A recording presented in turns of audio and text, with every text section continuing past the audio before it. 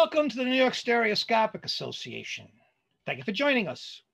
We're here to share our love of this immersive art form, to see through the eyes of those with cameras that see the way people do.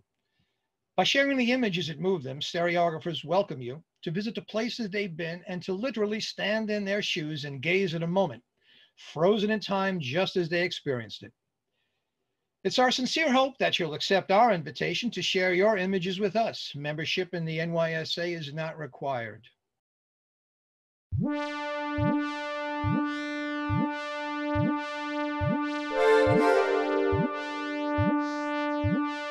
Greetings, comrades. I'm Max Klaxon, Supreme Commander of Mental Security, and I'm here to invite you to play the ultimate power game.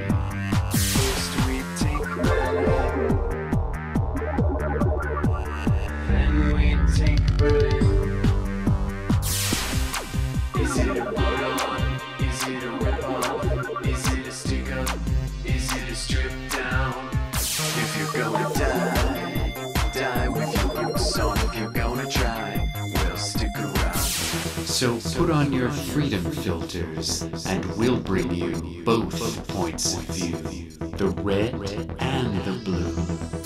We're in real trouble. It's not a joke. I'm always behind the eight ball, but I feel good about what we're doing. I have totally manipulated a lot of people, but believe me, I get standing ovations. The other day I ordered 4,000 television sets to watch myself. It's time to reject enemy mind control and demand better mind control. It's time, once again, to play authoritarian idol.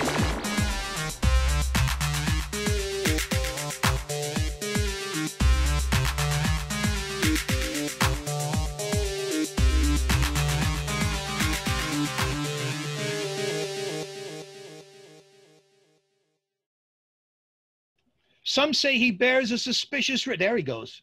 Some says some some say he bears a suspicious resemblance to New York City-based film maker and multimedia artist Maximus Clark, which he strenuously denies, and I can't see any resemblance myself.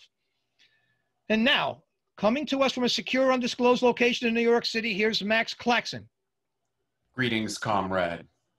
Back at you, Max. Tell us about Authoritarian Idol. Authoritarian Idol is a show that I produce and perform every four years during presidential election campaign season. The first version was in 2008, and I created all new versions of the show in 2012 and 2016. Right now, I'm preparing another version for 2020, and as in past editions of the show, I will be performing a number of songs and also interviewing digital avatars of the presidential candidates. The main thrust of Authoritarian Idol is that our political process has turned into reality television, and the candidates market themselves to us as larger than life characters competing for the grand prize absolute power. That absolute power thing sounds great. But of course, this is not a great time for live shows. So, how can people see Authoritarian Idol this fall? Yes, normally I do these shows in clubs, art spaces, and other venues with a live audience. Since that's not possible right now, I've decided to take Authoritarian Idol online. The show will be streamed on YouTube Live on Sunday, October 25th. For full details, you can follow Max Klaxon on Twitter or Facebook and check www.klaxon.info for more information. That's www.klaxon.info. And this streaming version of Authoritarian Idol will be in glorious anaglyph 3D, like the previous clip, correct? Correct. If you have a pair of 3D glasses that look like this, you'll be able to watch the show in 3D on any screen. If you have a 3D television or projector or a virtual reality headset, there will also be a special version of the stream designed for those devices. Excellent. So, once again, just to be clear, That will be streaming on Sunday, October 25th. Are you keeping the exact time secret for a reason? At this point, that information is classified. Ah, one last question. Can you explain exactly what better mind control is? Of course. Politicians, corporations, and the media are constantly bombarding us with their attempts to control our minds. Fortunately, I have a solution my own brand of better mind control. The melodies and rhythms of my music and the images in my videos are so infectious, they are guaranteed to override all the other signals that are being beamed into your brain.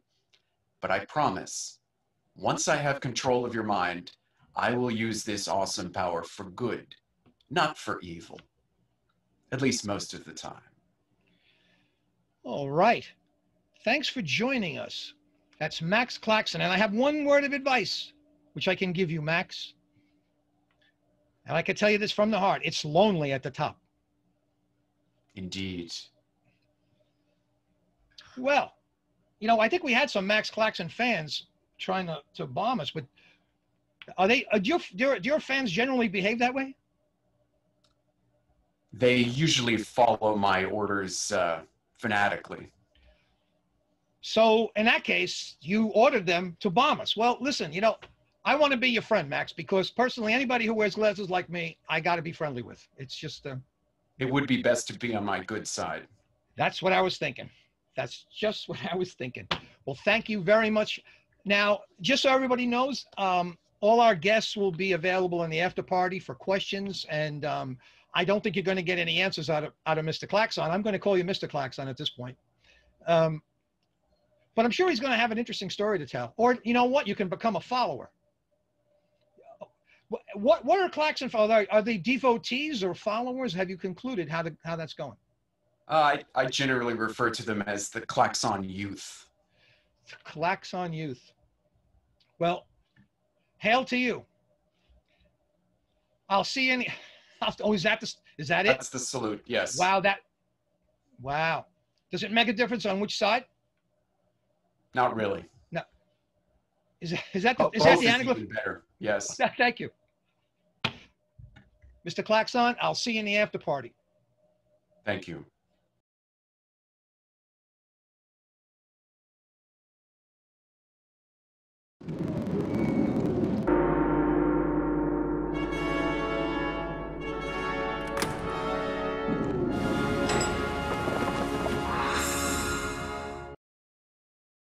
Welcome to today's edition of the Anaglyph Jukebox.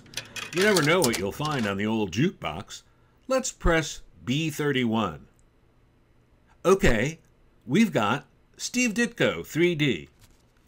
Steve Ditko, co creator of Spider Man and Doctor Strange, characters now part of a multi billion dollar cinema franchise, died two years ago, age 90, on June 29, 2018 he received a New York Times obit.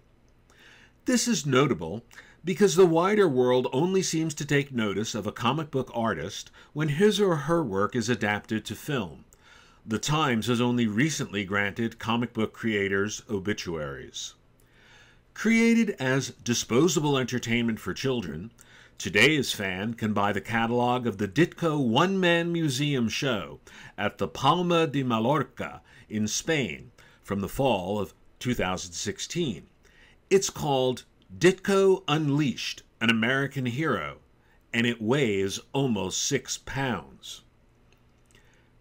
Steve Ditko from Johnstown, Pennsylvania, is as fascinating a character as any he created, and none of his work has ever been converted to 3D with this exception. Substance, a character created by Jack C. Harris, designed and drawn by Ditko specifically for 3D, with 3D conversion by Ray Zone. And the 1950s public domain stories reprinted in this same issue of Substance. Ditko actually worked on the first and only issue of the 1953 Captain 3D by Jack Kirby. He and Mort Meskin, another phenomenal artist, inked that book. After serving in the Army, Ditko studied in 1950 with Batman artist Jerry Robinson under the GI Bill at the Cartoonist and Illustrators School, co founded by the great Tarzan artist Burne Hogarth. This became the School of Visual Arts, and no one ever heard of it again.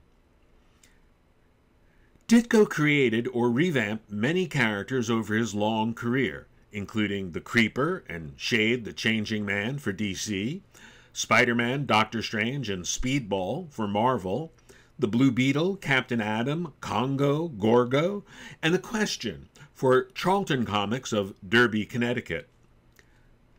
This last character was Ditko's first public expression of the black and white moral view he took from his deep involvement in the objectivist philosophy of Ayn Rand, which would eventually overwhelm his mainstream career. Far from just drawing to a script, Ditko was an active plotter as well. Captions and dialogues were added after the story had been drawn. Stan Lee said this All I had to do was give Steve a one line description of the plot, and he'd be off and running. He'd take those skeleton outlines I had given him and turn them into classic little works of art that ended up being far cooler than I had any right to expect. Ditko later created and independently published Mr. A, an avenging hero whose stories are more like mini rants, outbursts of angry finger pointing. Most of his later work involved self published mini comics with partner Robin Snyder, his former editor at Charlton Comics. These were more illustrated lectures than comic book stories. Ditko was reclusive in his lifetime, giving no full length, detailed interviews and leaving few letters behind.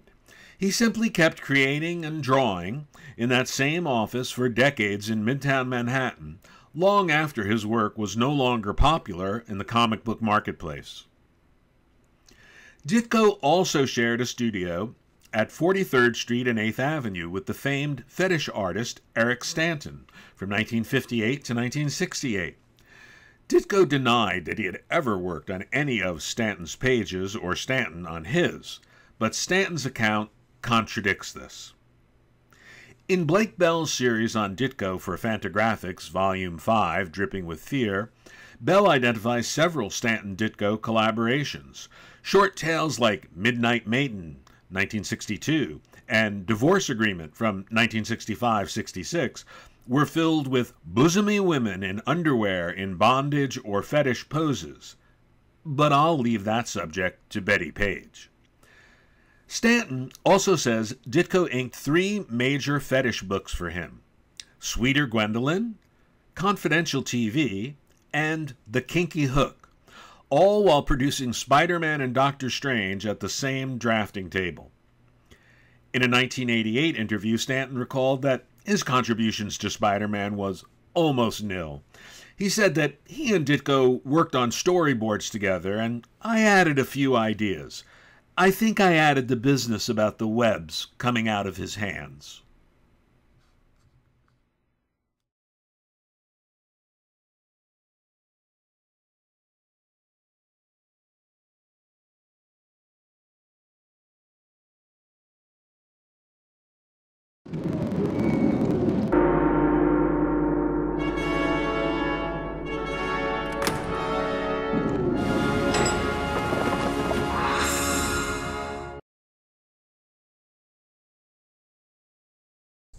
Ghost Stereos. Hi, this is Gordon Au, aka World of Depth. You may know that various spirits and specters have been popular subjects for stereo cards since the mid 1900s, especially if you caught Denis Pellerin's great keynote talk on this subject at NSA 3DCon 2020. You may also know that these ghost stereos were photographed using long exposure or possibly multiple exposure techniques, sometimes with glass reflections, and generally with two cameras or a single stereo camera. But many people today take their own stereo photos using a single 2D camera in sequential fashion. Can you still make a ghost stereo this way? Spoiler not spoiler, yes you can, and I'll show you exactly how to take and process such a ghost stereo. Your first thought may be that this would be quite difficult because, in order to get a transparent ghost in 3D, you need to essentially composite two stereo pairs, one with the ghost and one without the ghost, and how can you make these two stereo pairs be nearly identical so you can composite them? Well, to make the stereo base the same, you could make your side to side movement just once and take the four needed shots in this order. First, the left eye view, the background with no ghost. Then the left eye view with your ghost to be added in. Then you remove the ghost, shift your camera to the right, and take the right eye background view. And finally, you add the ghost back for another right eye view. So that solves the stereo base problem, but how do you get the ghost to return to exactly the same position? The answer is you don't. You just need to change your order of shots again. Take your two right eye views in the opposite order.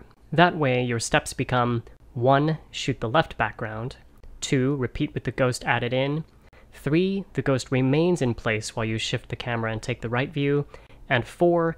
Remove the ghost and shoot the right background. This gives you two stereo pairs with the same stereo base and the same ghost position. Now, with your four shots, you may already know what to do and have suitable programs for doing it, but in case you don't, I'll show you how to process them using Photopea, which, as you can read, is a free online program akin to Photoshop. It has many great functions, but I'll show you only what you need for this. When you go to photopea.com and scroll down, you'll see this screen. We'll start by making a ghostly composite out of the two left eye views, so first, drag and drop photo number 1 of 4 into the main black area. It should be displayed like this. For the second photo, and this is important, go to the top menu to File, and then select Open and Place. This will add the second photo to the same project. You should now see your second photo. You've created two stacked layers with the second photo on top, as shown in the Layers guide circled at right. To see both photos, or rather, to make the top layer transparent, go to the box for opacity, circled here, and change the value to 50%. You should see something like this, with a transparent ghostly effect already visible. However, unless you used a stabilizing tripod, you'll also likely notice some weird offsets, as with the floor tiles shown here. So we need to align the two layers. First, select both layers by holding Shift and clicking on each one, and it might be a different button depending on your computer. Both layers should appear with a darker background, as circled here at right. Once you've done that, go to the top menu, Edit, and select Auto Align. This will take a few seconds, but you should see the screen update, showing now a nice and neat ghostly scene. The next two steps are optional, but useful if anything changed in the background between your two shots. First, select the top layer only. Next, go to the top menu, Layer, and Rasterize. What we'll do now is cut out the ghost using a blurry border. We will then use only the ghost cutout instead of the entire second picture, and this will reduce discrepancies with the first picture. First, go to the Lasso Select tool, which is the third one from the top on the left, the oval with the squiggly line. If you click and hold it, a submenu will pop up. Select the Polygonal Lasso tool as shown in blue. Second, to get the aforementioned blurry selection border, go to near the top, and for feather, type in 20 pixels. Select only the top layer using the layer guide at right. Now click a series of points around the ghost, leaving a healthy margin like this one. It can be a very approximate shape. If you can't see the ghost clearly enough though, temporarily turn the layer opacity back to 100%. You will see straight lines automatically created between points you click. You can change the view by pinching and zooming, by scrolling, or by using the view menu at top. Photopea will also automatically scroll your view when your cursor approaches an edge of the display window. Once you draw a complete loop, it will change and become a dotted curved line like this one.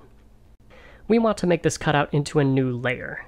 Go to the top menu, Edit, and Copy. Now go to Layer, New, and Layer via Copy. This will add a third layer on top of the previous two. If you want to double check it worked, you can hide the previous two layers by clicking on the eye symbols next to them in the layer guide. The checkerboard pattern here is what Photopea uses to indicate blank space. That you can see it through the ghost shows the new ghost layer is indeed transparent. Speaking of checkerboard and blank space, you might have noticed some checkerboard at the edges of our image, and I don't mean the floor checkerboard here. These areas were created when the layers were moved in order to align them. But now let's get rid of this excess blank space. First, as circled at right, select all the layers by shift-clicking as before, but hide the top two layers via the eye symbols, so only your original photo number 1 shows. Second, go to the top menu, Image, and Trim. If everything works, you should see the display change and all the checkerboard disappear. Now you can unhide the top layer and see what the finished left eye view of your ghost looks like. However, I will note that I think Photopea has a bug related to the trim function. Sometimes it just doesn't work, unfortunately. In that case, you would have to manually crop out the checkerboard areas. Anyway, at this stage, you could do things like adjust the transparency of your ghost by changing the opacity if you like. Afterwards, you can go to File, Export, and save this left eye view. If you want, you can also hide certain layers and export only the backgrounds or only the ghost. Next, you'll repeat this Photopea process with the remaining two original photos to construct the right eye view. That will give you your stereo pair, which you can then process like you would any other. Here is the end result for this ghost stereo, after using Stereo Photomaker's Auto Align tool and doing some manual cropping and framing. If you followed along and made your own, congratulations! As a bonus, I'll mention something else about Stereo Photomaker. You may have noticed that when you auto-align a stereo pair, and that's different than the auto-align in Photopea, by the way, by default it creates files to save the alignment data. If later on you reopen the same pair and go to auto-align it again, it will give you the prompt seen here, the option, in other words, to apply the same adjustments as before. But guess what? If you have a new stereo pair that's the same size and give it the same file names as the original pair, you can use this prompt to apply the same adjustments to a different pair. So why is this useful? Well, it allows you to create a separate stereo pair for each layer, but all with the same 3D alignment. For example, in this variant, I exported just the background from Photopea and used Stereo Photomaker to auto-align it and also make a depth map from it. I used that map to apply a 3D darkness effect, kind of a black fog that I wanted to be in the back of the room, including behind where the ghost would be. Hence I had to work on the background pair without the ghost. Then I exported just the ghost layer from Photopea, gave it the same file names, and thereby used Stereo Photomaker to auto-align it in the same way. Thus, I was able to recombine the layers without any problems. If I had auto-aligned the ghost layer without using the prompt and the previous report files, chances are it would have aligned the pair in a slightly different enough way to throw off a clean recombination. So that's a little Stereo Photomaker hack for you. So there you have it. It takes just four photos and Photopea, and optionally Stereo Photomaker, to create a sequential ghost stereo. Please try this out. You can find more tutorials from me and also send any questions at worldofdepth.com. Thanks for watching, and remember, everything is better in 3D.